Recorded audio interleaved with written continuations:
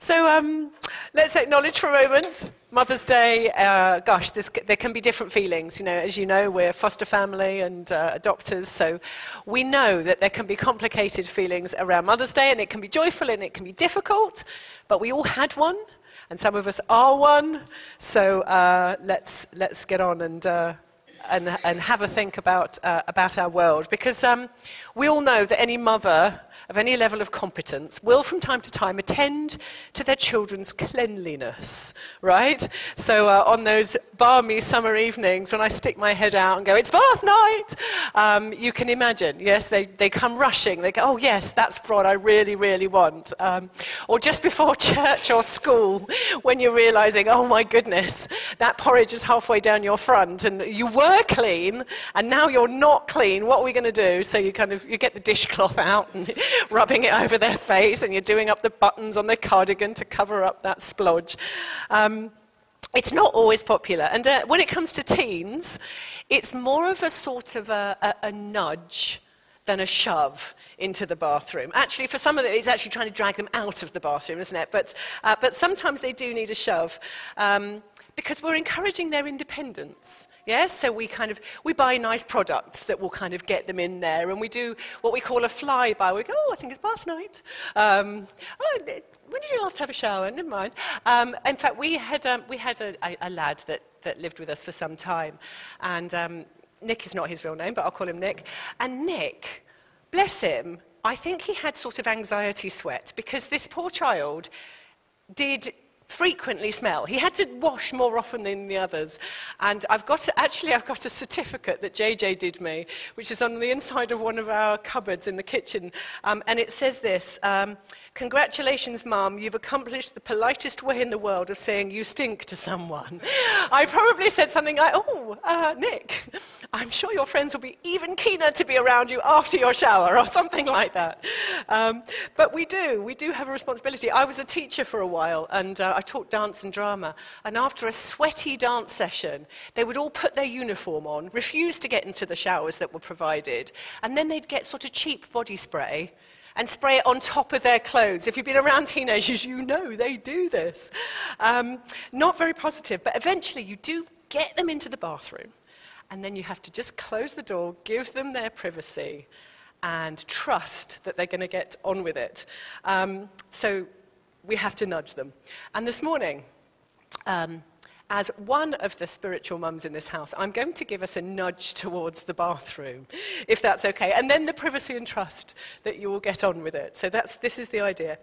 Because we're, we're in this, uh, I would say a series, but it's not a series, it's a journey towards being real. And I don't know about you, but I'm already being transformed by it, as you can see, by my lack of shoes. Yes, I'm being real. I can feel the floor. Thank you, Dan, for that. I've got the permission because Dan's done it. He does it all the time. I can do it from time to time. Um, and it's about authenticity in an image obsessed world.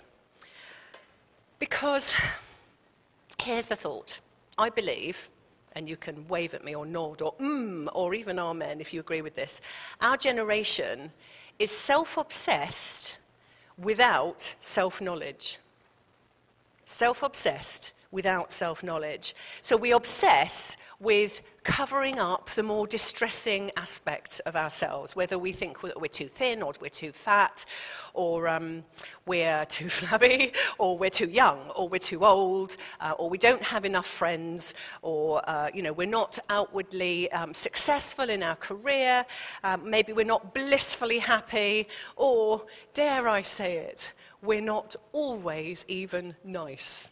Yes, some of us aren't. So we cover up, cover up, cover up, you know. Uh, and this problem, this problem cannot be solved by doing up the front three buttons on your cardigan. Um, so we spend time and money um, and effort that we can't afford controlling the narrative. Yes? Not sorting ourselves out, controlling the narrative, posting pictures, preferably with filters, so that my tired, dry, stressed skin looks dewy. Or um, uh, buying clothes that, that flatter. Um, a friend recently told me that you can get body contour jeans that take all the wobbly bits and put them in the right place. Right? Who knew? This is great news. Uh, and we even maybe speak cautiously so that we're not going to cause offense in case our opinion on something doesn't quite match someone else's opinion. So we try and make out like we've got everything in common and there's no conflict. And then, of course, we don't have robust conversations where someone said, actually, we had a great one in our small group, didn't we? A couple of weeks ago, someone said something. And I won't say what or who. And someone else said, Oh, I'm not quite sure about that. And then we had a little discussion. And then we kind of came to a new place together. It was fantastic. So don't forget small group. Um, another way of actually uh, covering up is to deflect. So point to the faults of others. Um, so blaming, judging, and gossiping is a great way to do this. Okay, excellent ways. Look at Adam and Eve. Okay, we had Adam. He eats his share of the apple. He's got juice running down his chin, and God asks him about it. And what does he do? Does he say, "Ah, you got me"? No, he says, it was Eve. Look at her. Look at her over there. That woman, that woman that you gave me. Ah, I can blame both Adam and I can even blame God. Yes, but it says God never tempts, so there we go. By the way, you know when you go, oh, I'm only human, as an excuse, as a sort of a cover up, I did the wrong thing, but oh, I'm only human. God never tempts, and we can't really criticize him for making us who we are as humans, can we? Um, and then, of course, if the deflection doesn't work, there's always Adam's choice Self talk. You've got this. You can do this. I've got this. I'm going to be independent. And it takes a bit of effort, but it's so effective, right? Really effective. Life hack right there. If the real me isn't the person I want you to think I am, pretend. Yes? So we can go for coffee now, yes? That's the talk, no? Let's see what God says. So he says in Romans 12, Therefore I urge you, brothers and sisters, in view of God's. Sorry, can I just pray, Lord, could our hearts be open to the truth of your word? Help us not to think according to the patterns of this world. Amen. He says, I urge you, brothers and sisters, in view of God's mercy, to offer your bodies as a living sacrifice, holy and pleasing to God. That concept of a living sacrifice. Surely a sacrifice, it offers itself up for death and then it's dead. No, we are a living sacrifice, constantly, repeatedly offering ourselves. This is your true and proper worship. Do not conform to the pattern of this world, but be transformed by the renewing of your mind. Then you will be able to test and approve what God's will is, his good, pleasing, and perfect will.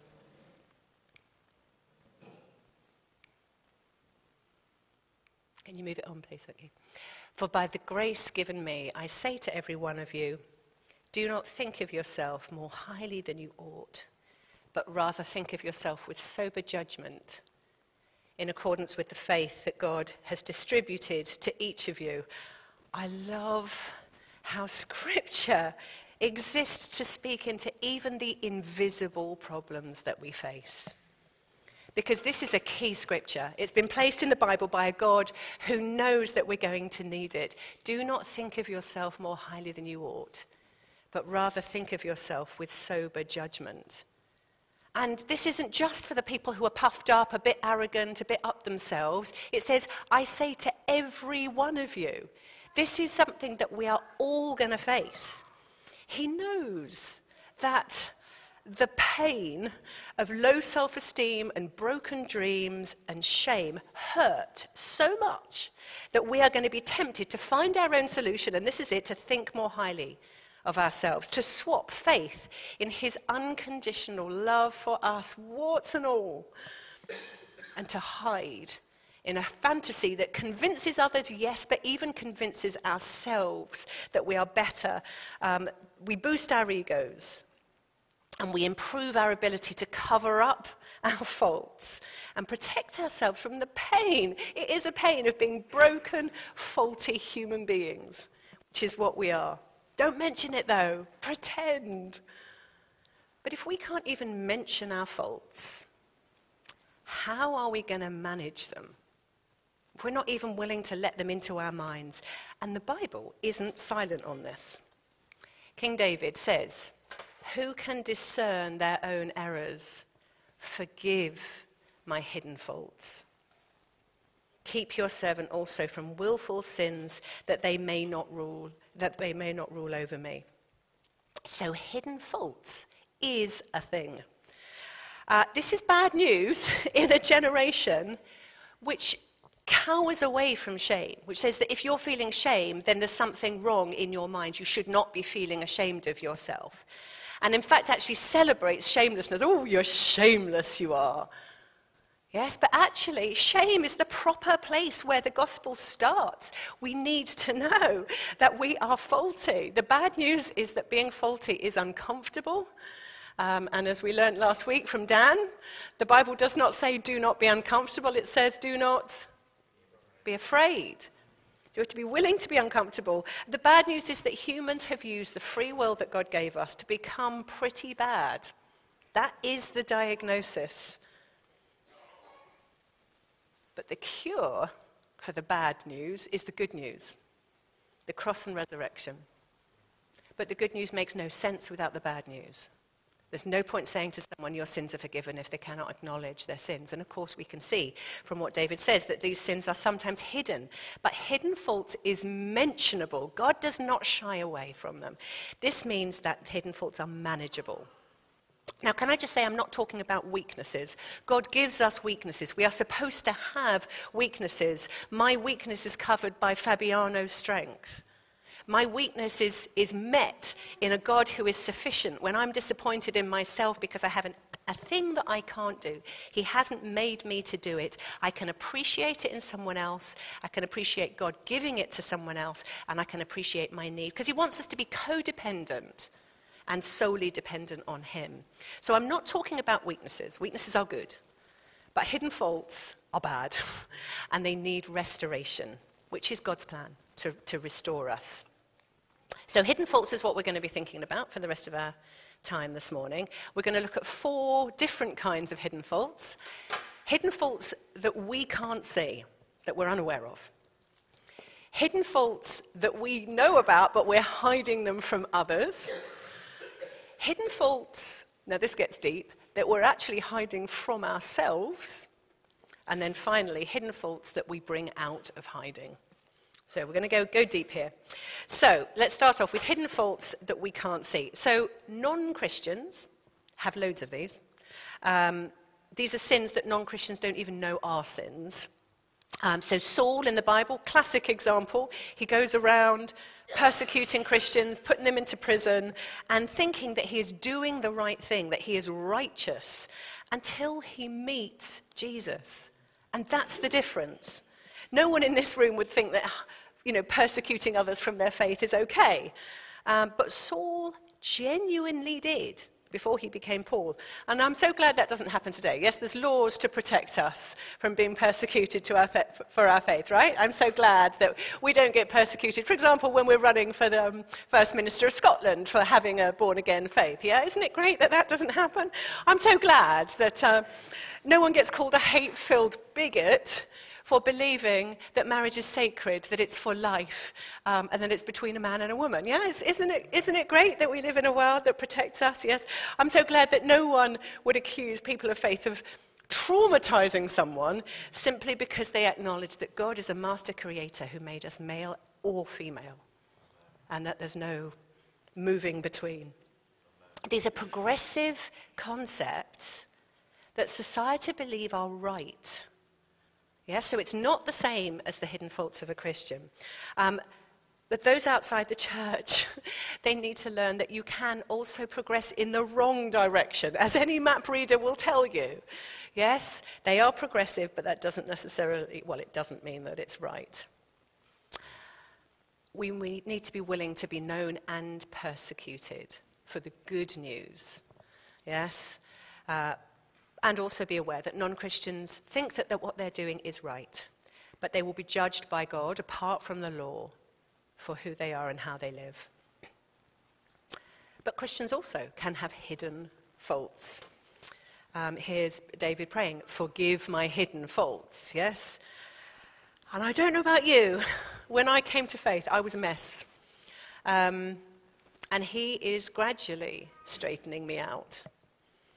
He doesn't show me all my faults at once. That would overwhelm me. You're probably more aware of some of my faults than I am because He's keeping them from me until I'm strong enough to face them.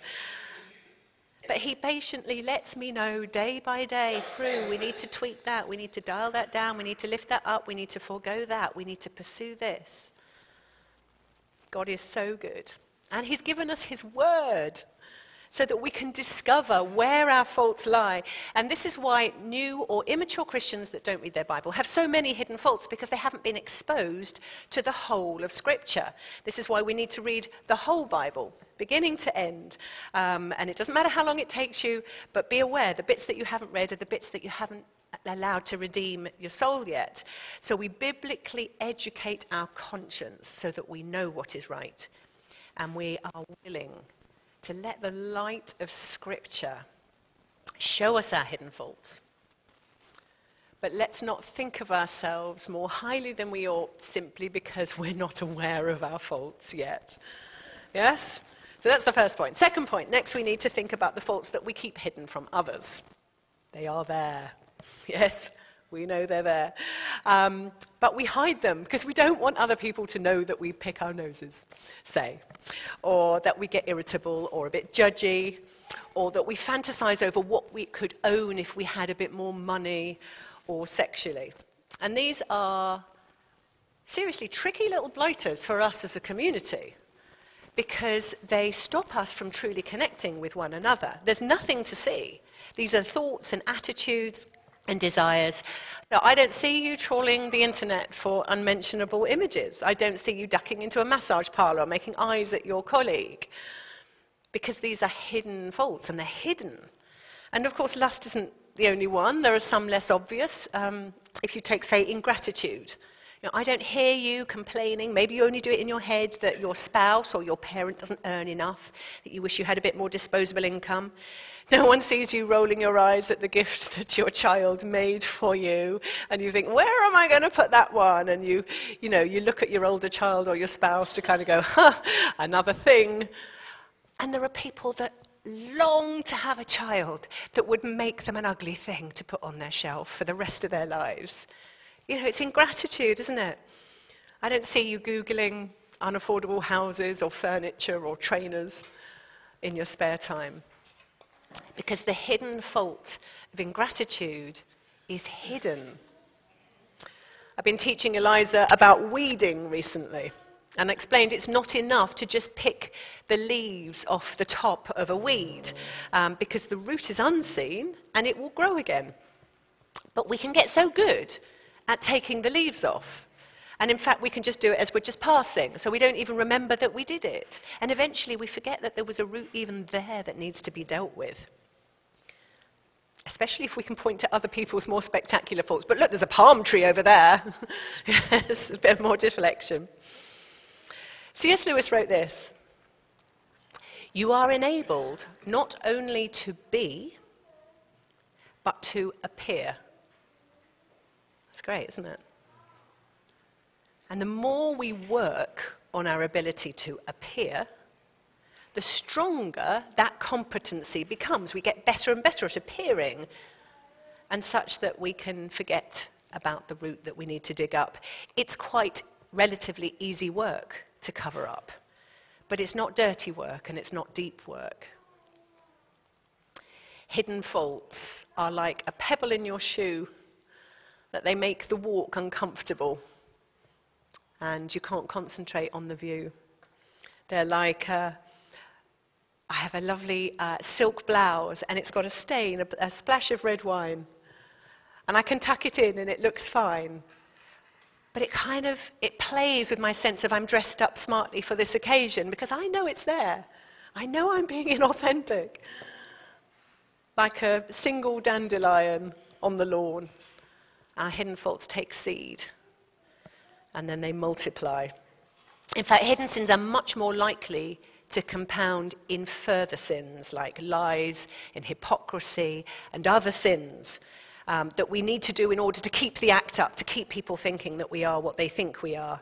And then when we get away with it once, well, it either produces some fear, oh my goodness, I need to keep this up because now they think I'm this good, I can't possibly disappoint them, or arrogance, I got away with it that once, I can do that again. And we become more committed to the inauthentic path, and then desensitized and emboldened, and self reliant. And at that point, we can back off from God. We stop praying, God, help me kill this sin. Because we can cover it, we can cope with it. Psalm 66 says this If I had cherished sin in my heart, the Lord would not have listened.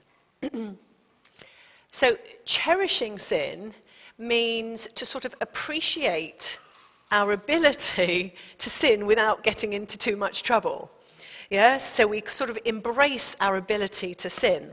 Um, and maybe you don't believe me that Christians actually do this, but I'm, I, you'll have met a Christian, I'm sure, who can boast in the, oh, that they can handle their drink.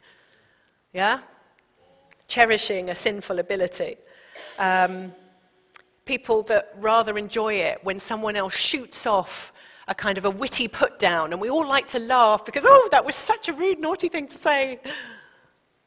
And we, we enjoy laughing together about it, we cherish it. And my own personal favourite, I confess, which is I rather enjoy my ability to know where the local speed cameras are, and I can speed up to them, and then I look in my mirror and I slow down, and I'm safely going past them, and I think, aren't you clever, Fru? I'm going to, I've got to stop doing that now that I've said it in public, haven't I? Um, but you know, until I'm not safe, until I decide that actually that law wasn't worth following and maybe there's another one I can get away with as well. Because hidden sin requires us to sear our conscience, the Bible calls it. Stop thinking about right and wrong. Am I doing the right thing? Am I authentically right here in this moment? And rather think in terms of survival, cherishing our sin and working to hide it from others, which is both effortful and futile, actually. Jesus says this. This is really sobering. Nothing, happy Mother's Day. nothing, is, nothing is covered up that will not be uncovered. And nothing secret that will not become known. Therefore, what you have said in the dark will be heard in the light, and what you have whispered behind closed doors will be proclaimed from the housetops. So let's not keep sinning simply because no one knows about our hidden fault yet, because they will. So, thirdly, let's look at faults that we're hiding from ourselves. Now, um, a lot of you will know that. Uh, I have an interest in understanding how the human brain works. I like to know the chemistry, the anatomy of the brain, and think how does it affect our behavior. Um, and so I looked up self deception, and I read some studies on it. And this was the most um, concise uh, one. Self deception is a, is a state of mind that involves a combination of a conscious motivational false belief and a contradictory unconscious real belief. Yeah, I've kind of felt that way as well after I read it, so let me unpack it a bit. I've been looking at this this week. So, um, simply, um, if you think that you are incapable of self deception, you are probably more vulnerable to it than someone who thinks, oh, actually, I can do that. Yes?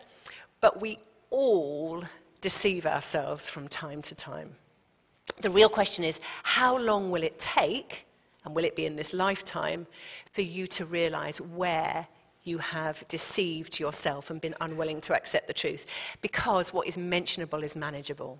And when we do this, we can bring these things to God. We're told to think of ourselves with sober judgment. That means we're open and willing to see where we haven't seen before. And that means, as the youth would say, for real, for real. Yes? It's about being for real, for real.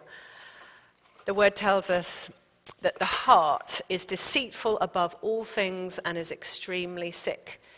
Who can understand it and know its secret motives? We can deceive ourselves.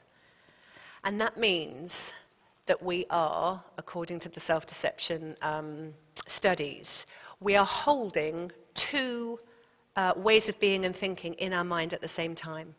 The one that is thinking positive and, and, and covering up and choosing to see the world the way it wants to, and then the other side that says that actually there's something I'm, I'm ashamed of and I'm not this person. And there is a tension between these thoughts, and carrying that tension um, is what happens. And I have developed this hypothesis recently that the effort it takes to appear the one way when we actually believe that we're worse than how we appear, might be the root of this anxiety epidemic that is striking the next generation, particularly, particularly our youth.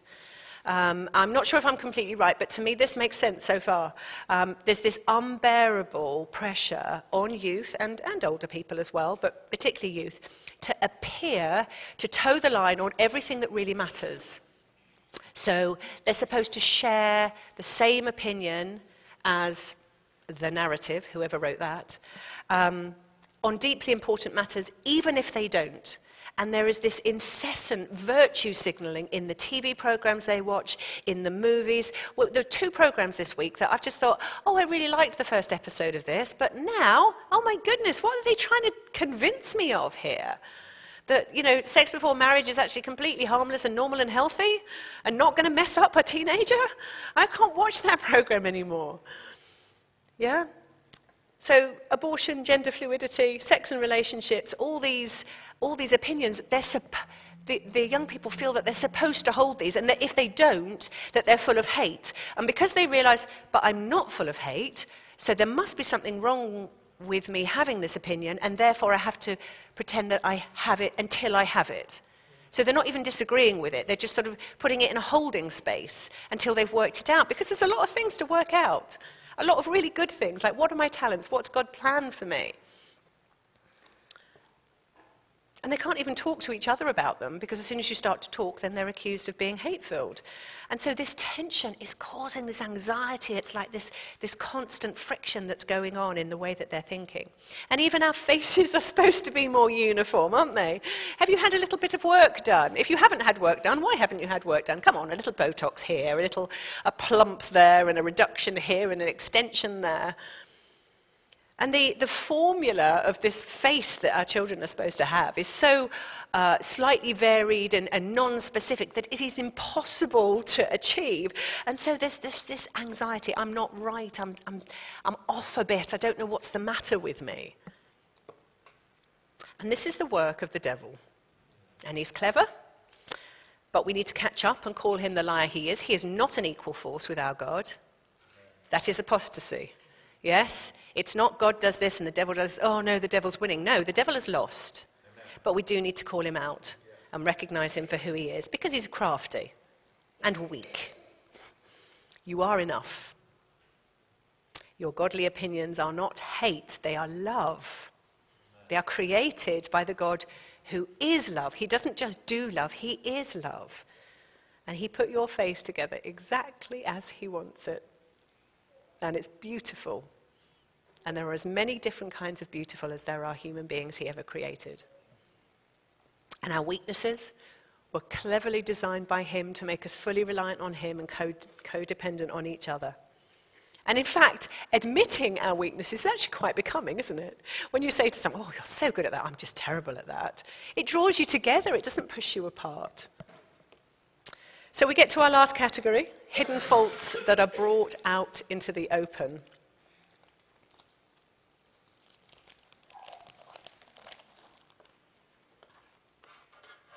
We have faults. We hide them, and sometimes they're willful, and they're rightly called out as sin.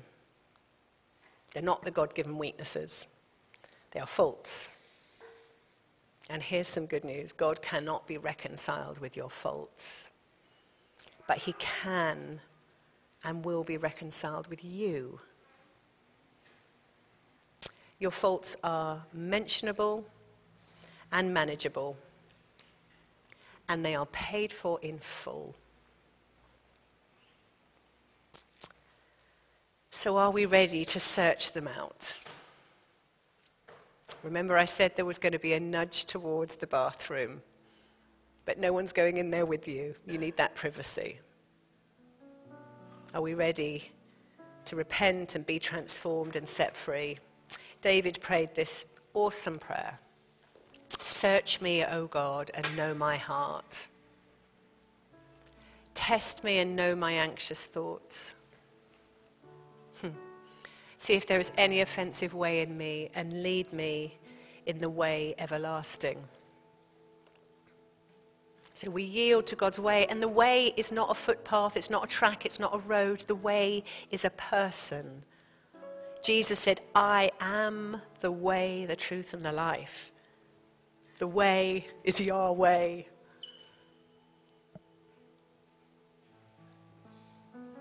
Forgive my hidden faults. Keep your servant also from willful sins. It says in the Proverbs, take away the dross from the silver, and the smith has material for a vessel. We want to be used by him, don't we? And he wants to take the dross out of us.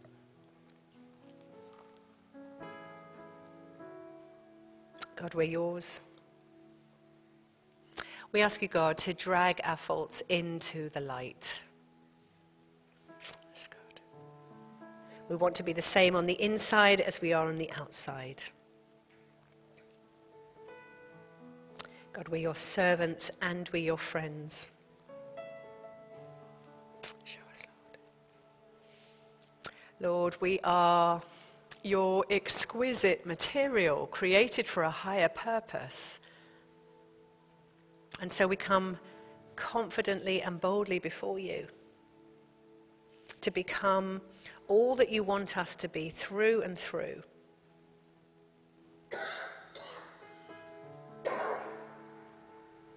I'd like us to just return to that initial scripture. And I wonder if I've been doing this little experiment this week. When I get up in the morning, I sit right on the edge of my bed. So why don't you sit right on the edge of your seat? And I pray this prayer based on, on this scripture.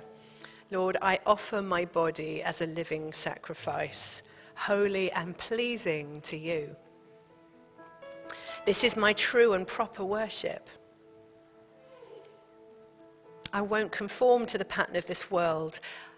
And with your help, I'll be transformed by the renewing of my mind so that I can test and approve what your will is, your good, pleasing, and perfect will. I will not think of myself more highly than I ought, but rather, I will think of myself with sober judgment according to the faith you've given me. So forgive my hidden faults. Keep me also from sinful ways. Search me, O God, and know my heart. Test me and know my anxious thoughts. See if there is any offensive way in me, and lead me in the way everlasting.